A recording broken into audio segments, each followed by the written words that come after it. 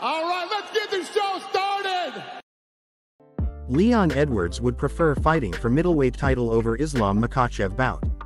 Leon Edwards says he'd prefer fighting for the middleweight title as opposed to squaring off with Islam Makhachev. Makhachev has recently expressed interest in moving up to welterweight to challenge Edwards for the welterweight title to try and become a champ champ.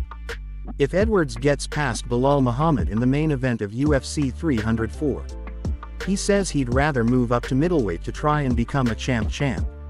For sure, for sure. I feel like we've both got work to do within our division. I feel Islam just fought his first actual lightweight. He fought Volk, but this is his first actual lightweight he's fought within the division, Edwards said to TalkSport. He's on a three defense streak. After I beat Belal, that will be my third so we're both on similar paths. I can see that happening in the future. Also, I would like to move up and challenge for the middleweight belt hopefully. I feel like I'd have the size for it and the skill for it, so why not chase greatness? Why Leon Edwards wants to fight for the middleweight title and try to become a champ champ is because the Brit says he wants to be remembered as one of the best of all time.